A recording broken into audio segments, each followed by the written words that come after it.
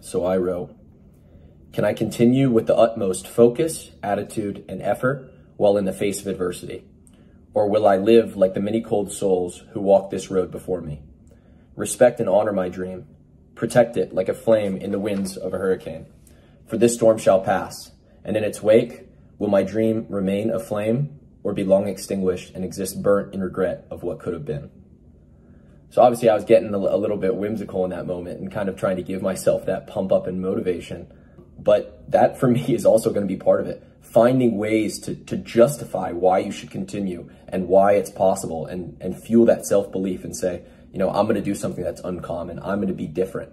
Uh, so that was kind of an example of it felt like nothing was going right for me. Maybe there weren't people around me supporting me in the moment and I could be my biggest cheerleader. I can push myself through it.